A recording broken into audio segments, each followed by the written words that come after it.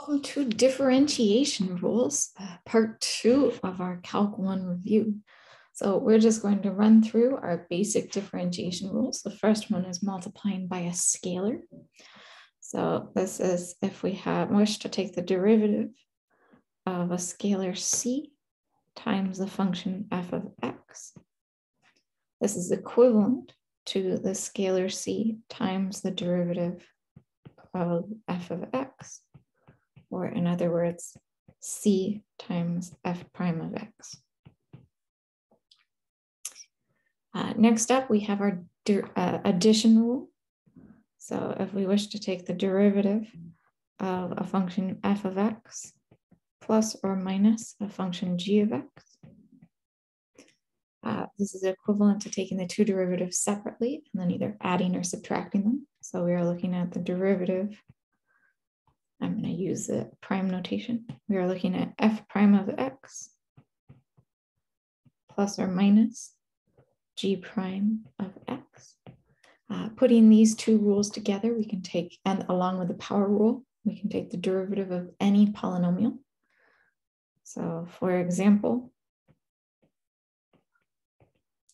if we wish to take the derivative of 4x cubed minus 2x squared plus 5. Uh, this is equivalent to doing 4 times the derivative of x cubed minus 2 times the derivative of x squared plus the derivative of 5 and of course, power rule, x cubed goes to 3x squared. So we have 4 times 3x squared minus 2 times 2x. Derivative of x squared is 2x. Derivative of a constant is 0. And we wind up with our 12x squared minus 4x. Next up, we have our chain rule. Chain rule applies to a composition of functions. So if we wish to take the derivative of f of g of x, this is equivalent to taking the derivative of f and evaluating it at g of x, and then multiplying by g prime of x. So for example,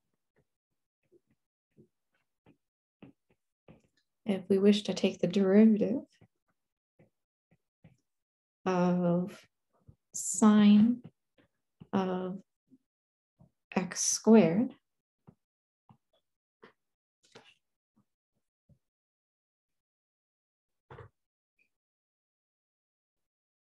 I'm going to go ahead and label the inner function just u.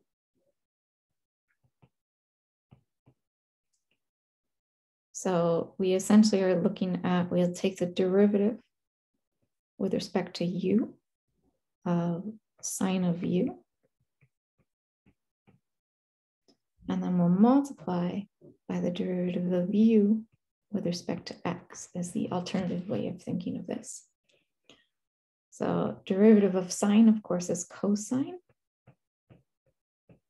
So we'll have cosine of u and then times the derivative of our u was x squared. And so we wind up with cosine of x squared times 2x. Uh, next up, we have our product rule. Product rule says that if I wish to take the derivative of f of the x times g of x. This is equivalent to doing the derivative of f, f prime of x, times g of x, plus f of x times g prime of x. So for example,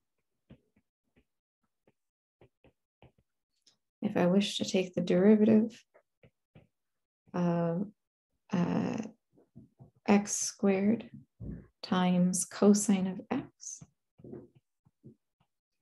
We can go ahead and take x squared to be my f of x. And uh, cosine of x to be my g of x.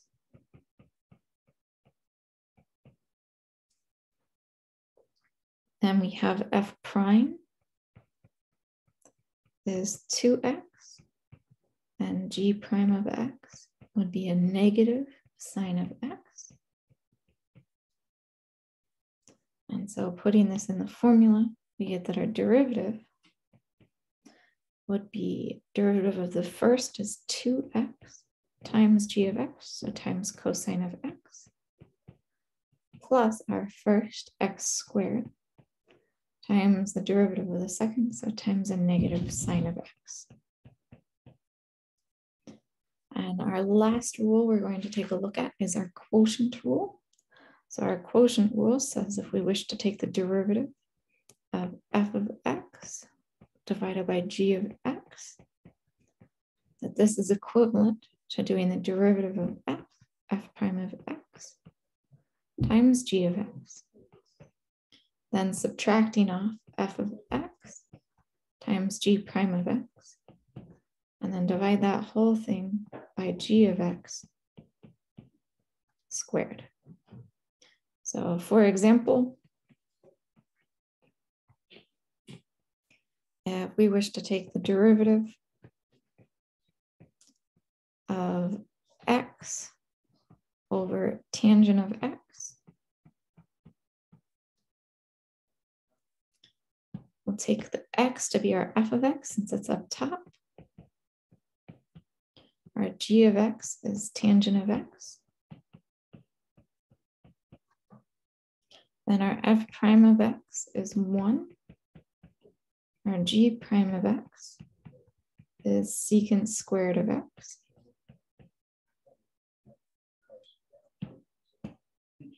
And then we wind up getting, we do derivative of the first. So we'll have 1 times g of x, so 1 times tangent of x, minus f of x. Oh, I need to update my screen. I apologize. Uh, then we have minus f of x, so minus x times g of x, so times tangent of x. Sorry, times g prime of x, so times secant squared of x. And then the whole thing is divided by g of x squared. So we'll divide by tangent of x squared. So this leaves us tangent of x minus x times secant squared x, all divided by tan squared x. So this was just a quick review of the various differentiation rules that we see in this course, or that we see in Calc 1. Uh, in the next videos, we'll get into a quick review of integration.